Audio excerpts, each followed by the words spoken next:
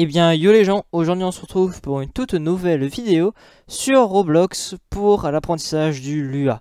Donc on va, on va s'attaquer aux variables. Alors une variable c'est quoi? Vous pouvez définir ça comme une case qui va contenir une valeur et qu'on va pouvoir modifier grâce à son nom, euh, l'utiliser. Donc tout simplement vous allez devoir créer un script et ensuite vous allez devoir utiliser le mot-clé local pour déclarer votre variable. Ensuite, vous allez devoir lui donner un nom. Moi, par exemple, je lui donnais nom variable ou nom var. Voilà. Là, elle est déclarée. Mais si vous voulez, vous pouvez lui ajouter une valeur. Mais ce n'est pas obligatoire. Je vous montrerai plus tard pourquoi dans un autre épisode. Mais par exemple, on va lui donner un chiffre. 5. Faut savoir que les variables, elles ont différents types. Les int, ce que j'appelle et on lui a c'est number mais vu quand je dis int c'est number hein, faites pas attention à ça c'est parce que j'ai l'habitude. Vous avez les strings qui sont des chaînes de caractères les floats qui sont aussi des numbers ici et enfin euh, les booleans. Alors les booleans c'est assez particulier tout simplement parce que euh, il y a que deux valeurs possibles soit true soit false. Donc qui veut dire faux ou vrai. Donc pour l'exemple, je vais prendre une variable de type number. Donc un number, en lui a, ça peut être un chiffre à virgule ou un chiffre simple, un nombre, etc. Donc moi pour l'exemple, je vais prendre 5. Et ensuite, vous pouvez faire n'importe quoi. Enfin n'importe quoi, pas forcément non plus. Mais vous pouvez faire à peu près tout. Notamment, lui afficher sa valeur. Quand vous allez faire un print avec le nom de votre variable, tout simplement, ça va print sa valeur. Regardez, si je fais run, voilà, vous pouvez voir que ça m'a pris 5.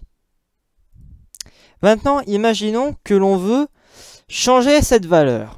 Et eh bien tout simplement, pour remettre à jour notre variable, on va lui remettre son nom, à égal, et ensuite on va lui changer sa valeur. Par exemple, je vais prendre euh, 2,257599. Et si je reprint ma variable, alors ça m'imprint déjà 5 et ensuite 2, voilà, vous avez compris.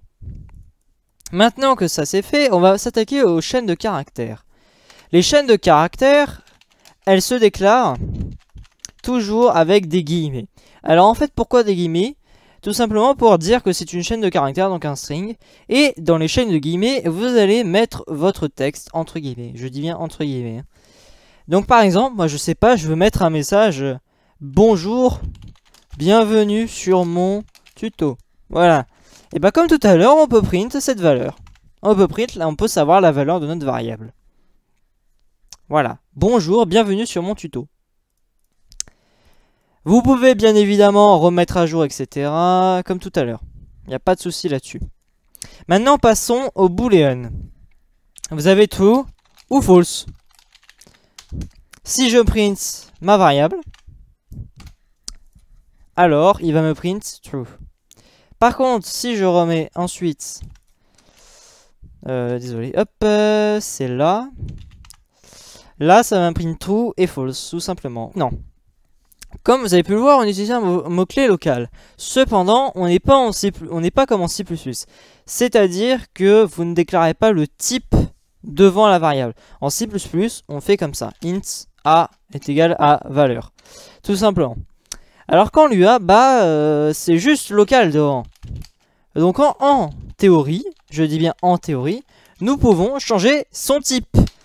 Là, si je mets CC et qu'ensuite je change son type, je vais mettre 10 et que je reprint ensuite après, il n'y aura aucun souci là-dessus. Tout simplement parce que on ne donne pas de type dans notre variable. On lui dit, tiens, tu as cette valeur, mais on va pouvoir te la changer. De même, on ne peut pas, euh, entre guillemets, loquer une variable. Ça veut dire qu'on va pas pouvoir, on va pouvoir toujours la modifier. Maintenant que ça c'est fait, vous pouvez faire plein d'autres choses avec ça. Donc je pense que nous avons terminé sur, ce, sur cet épisode. J'espère qu'il vous aura appris quelque chose et euh, je vous dis à très bientôt, c'était Programme, à la prochaine, à plus.